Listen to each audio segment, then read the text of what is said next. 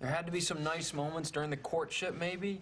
Or the wedding? The wedding had to be fun. You get the your families decorations, families coming together. That's a nice moment. What'd you have to eat? Crab cakes. Are you kidding me? Crab How could you not have a cakes. good I love time eating crab crab cakes? cakes. I love them. And They're you got phenomenal. a band? Did you have a band? Yeah. Good or bad? Who gives a shit? It's a great band. It's a bad band. It's like pizza, baby. It's good no matter what. There's music in the Get them air. playing shout, and you yeah. hate it. A little bit oh, softer. oh, hey, hey, shout hey, now. hey, Jump up and shout now. It's a good time. Do you know what I mean? Yeah. Rubbing up against each other. Just a couple of kids who like to fuck, trying to make it honest. I get it. Guys, the real enemy here is the institution of marriage. It's not realistic. It's crazy.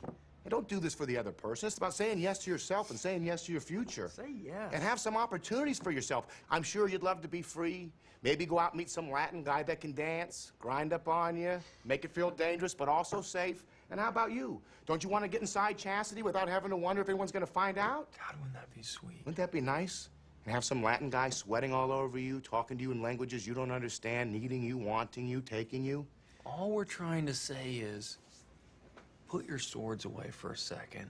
Let's finish this and let's move on. Get out there and get some strange ass. Could you give her a glass of water so she can take that?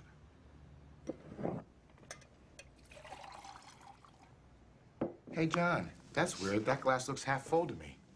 Wow. Now that you mention it, it is half full. You can have the miles.